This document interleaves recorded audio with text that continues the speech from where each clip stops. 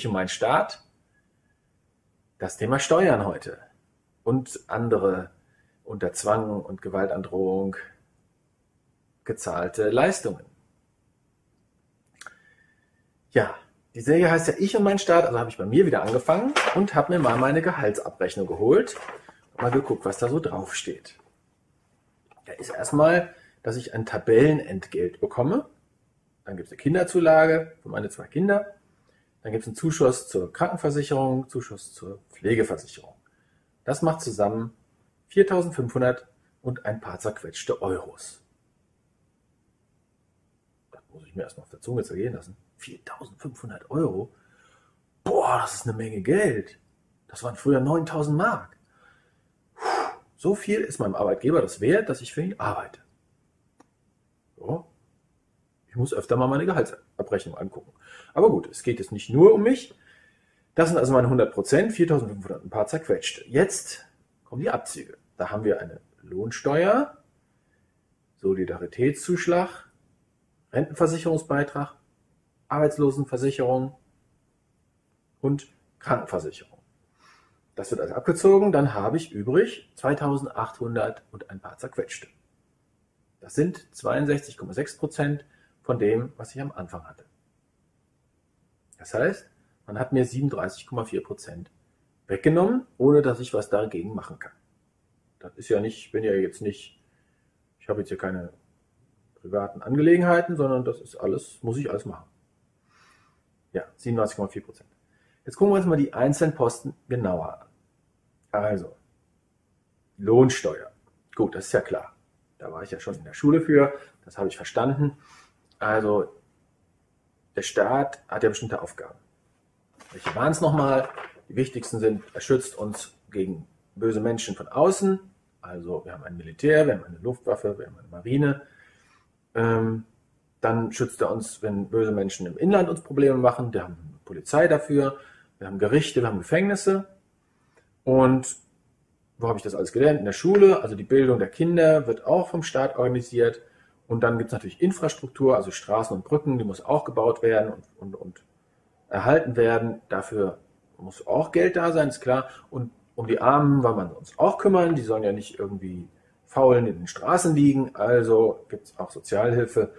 Und dafür muss auch bezahlt werden, ist ganz klar. Deswegen muss man natürlich was dafür zahlen. Ja. Jetzt habe ich so gedacht, ja, wie viel ist denn dann, wie viel, wie viel muss man eigentlich so abgeben, um diese, diese Gemeinschaftsaufgaben so zu erledigen? Habe so gedacht, 10% wäre vielleicht ganz gut. Ein Zehnt gab es früher mal als Steuer. Das war schon ganz schön viel, fand ich. Ein Zehnt. Also auf jeden Fall nicht so was Kleines, sondern schon eine ganze Menge. Und dann habe ich ausgerechnet, was ich zahle, das sind 12 Prozent. Da war ich jetzt nicht so richtig begeistert, aber dann habe ich mir überlegt, ich bin doch eigentlich der absolute Glückspilz des Steuersystems. Ich habe zwei Kinder, ich bin verheiratet, ich bin Alleinverdiener, ich habe einen riesen Freibetrag, für den ich überhaupt keine Steuern zahle.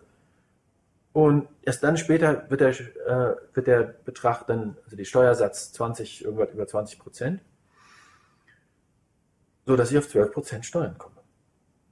Andere Leute, also, wenn du jetzt vielleicht nicht verheiratet bist, keine Kinder hast und verdienst genauso viel wie ich, dann, also verdienst natürlich mehr, aber wenn du so viel kriegst wie ich, dann ähm, musst du 25 Prozent oder sowas zahlen. Ein Viertel oder Geld geht weg an den Staat. Wow. Wow. Das ist viel. Gut, das ist viel. Also, ist so ein Phantomjäger, ne, eine Milliarde kostet er, glaube ich. Schon teuer, ne? Ja, gut. Also das wäre das zu der Lohnsteuer. Ne? Das ist irgendwie scheinbar notwendig und man muss da eine ganze Menge für zahlen. Jetzt geht's weiter. Jetzt kommen wir hier Rentenversicherung. Ist auch nochmal ein ordentlicher Betrag. Solidaritätszuschlag lasse ich jetzt mal weg. Rentenversicherung, ordentlicher Betrag. Das klingt ja wie Versicherung. Jetzt, was ist denn eine Versicherung?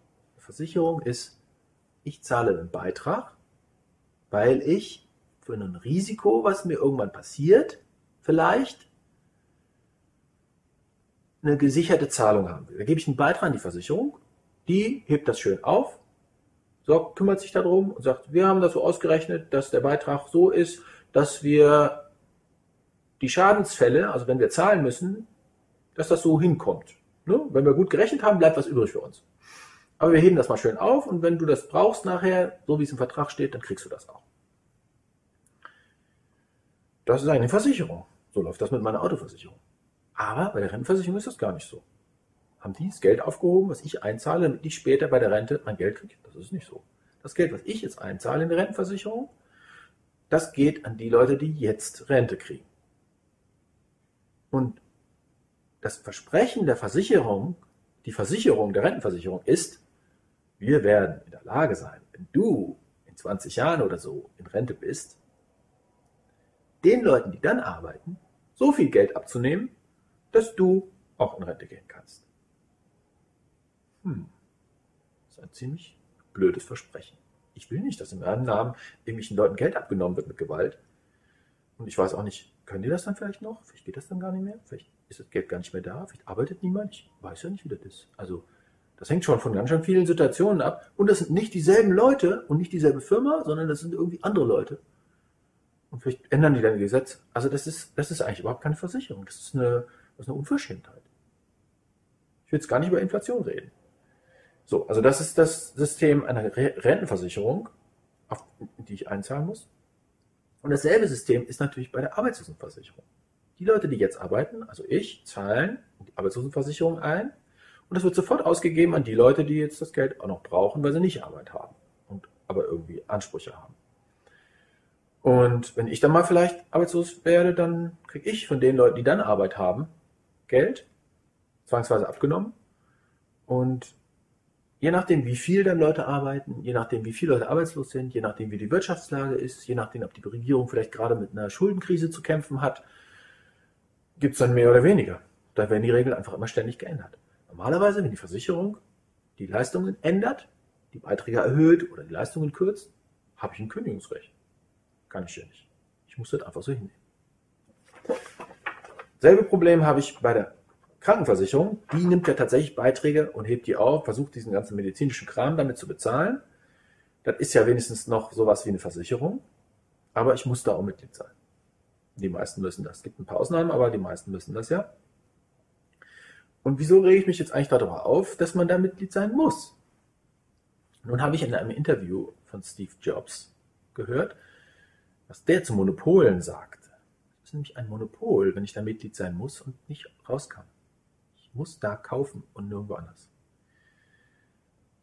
Da gab es in den USA früher eine staatliche Telefongesellschaft, so wie bei uns.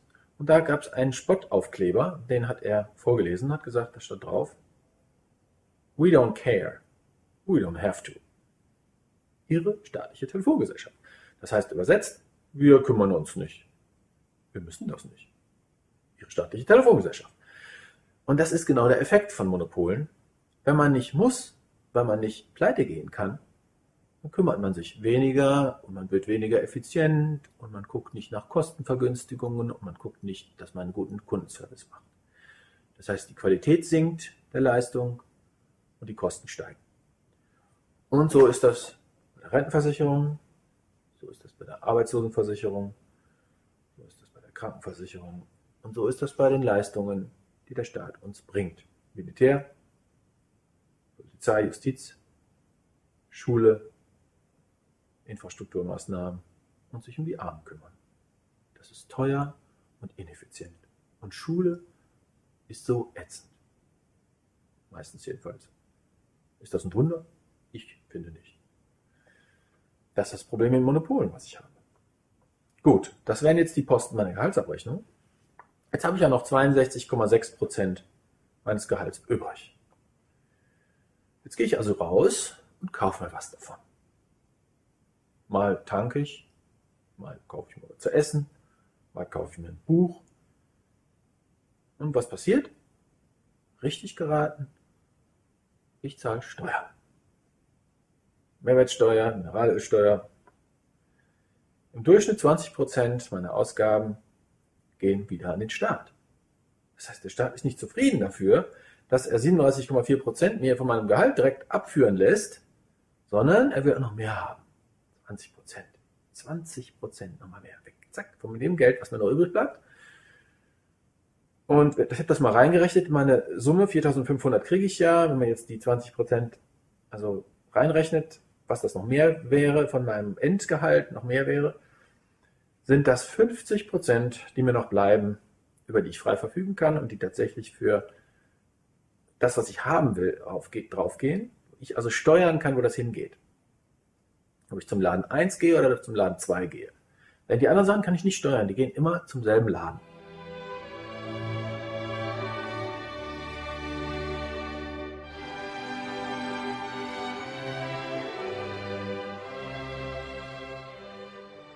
Es gibt noch eine zweite Methode, mit der man messen kann, abschätzen kann, wie groß der Anteil des Staates an der Wirtschaft eines Landes ist. Dieser Begriff heißt Staatsquote und die Grundlage dafür ist erstmal das Bruttoinlandsprodukt, auch Bruttosozialprodukt genannt.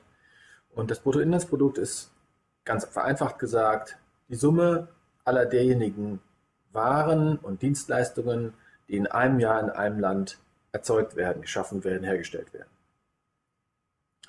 Und die Staatsquote gibt an, wie viele Waren, Dienstleistungen, wertvolle Dinge der Staat in diesem Land in dem Jahr ähm, geschaffen hat oder für wie viel Ausgaben, Kosten, äh, äh, also er kauft ja auch Dinge, wie viel, für wie viel davon der Staat zuständig ist. Die Staatsquote in der Bundesrepublik Deutschland ist ähm, 46 Prozent. In Schweden ist sie über 60 Prozent. Es gibt kaum Länder in den entwickelten Ländern, die eine Staatsquote von unter 40 Prozent haben. Ähm, das heißt, wir kommen auch hier ungefähr auf 50 Prozent. 46 Prozent, nicht ganz. Und das alles, das heißt, all diese 50 Prozent unserer Wirtschaft hat mit Gewalt zu tun. Sie wird entweder von Geld bezahlt, Steuergeldern, die mit Gewalt oder Gewaltandrohung Leuten abgenommen werden, oder sie hat zu tun mit einer Leistung, bei der der Käufer oder der Verkäufer nicht die Wahl hat, das zu machen, was er möchte, sondern gezwungen ist, das so zu machen.